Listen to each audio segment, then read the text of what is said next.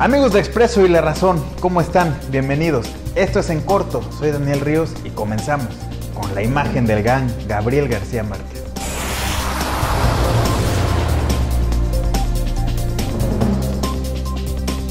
El gobernador de Tamaulipas, Francisco García Cabeza de Vaca, anunció que el Estado solicitará un programa formal de condonación de adeudos para usuarios residenciales de la Comisión Federal de Electricidad, así como la aplicación de la tarifa de cobro más baja, tal y como ocurrió en Tabasco. Hago de su conocimiento que iniciaremos gestiones con el gobierno central para solicitar un programa de condonación de adeudos por el pago de luz de usuarios residenciales.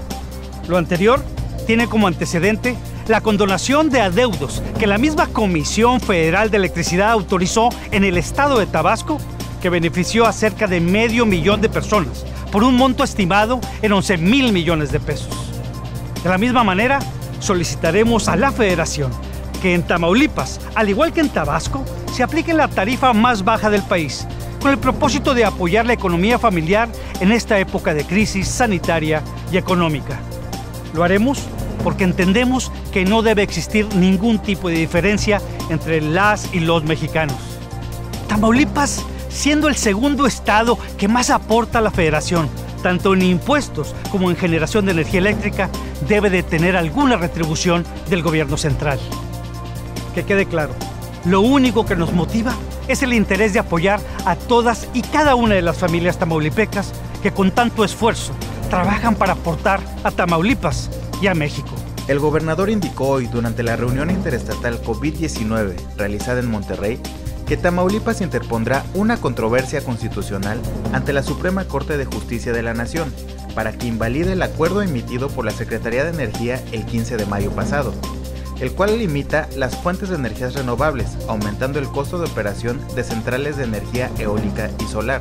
Mientras tanto, el Congreso de Tamaulipas exhortó al titular de la Procuraduría Federal del Consumidor a que se atiendan a la brevedad las quejas de los tamaulipecos contra la Comisión Federal de Electricidad por cobros excesivos. Al presentar el dictamen, el diputado Joaquín Antonio Hernández Correa señaló que los mecanismos con los que se calculan las tarifas y que se encuentran regulados por la ley de la industria eléctrica no están siendo los óptimos ante los diversos panoramas económicos, sociales y de salud, mucho menos considerando el contexto de vulnerabilidad económica que viven las familias.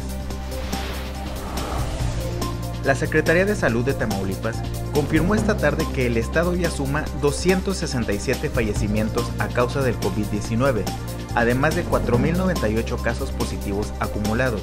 Según el reporte de esta tarde por parte de la autoridad estatal, la lista de municipios con más contagios la encabeza Matamoros con 802, Reynosa suma 756 casos positivos, Tampico acumula 606, Ciudad Madero ha contabilizado 454, Nuevo Laredo 433, Ciudad Victoria suma 423, Altamira 221, Río Bravo 170 y El Mante contabiliza ya 87 casos positivos.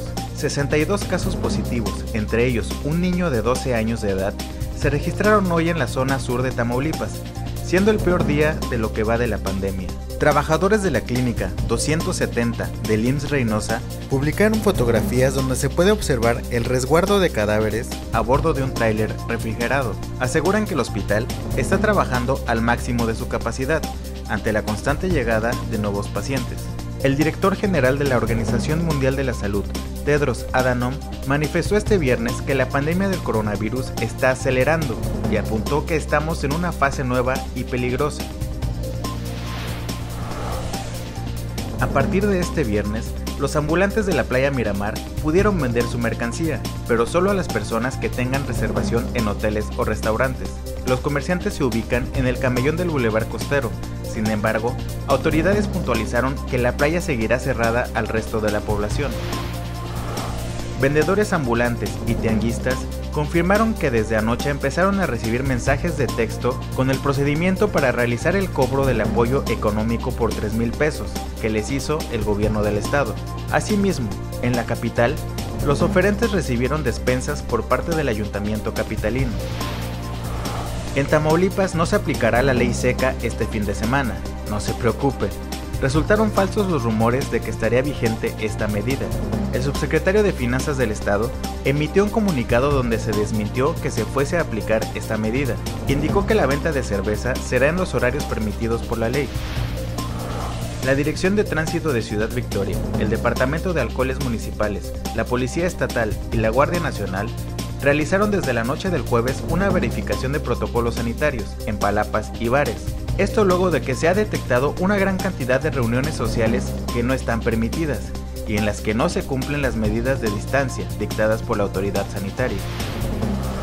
Servicio al aire libre estarán ofreciendo algunos restaurantes del centro histórico de Tampico, así como en el Paseo de la Cortadura, derivado de los protocolos de la nueva normalidad.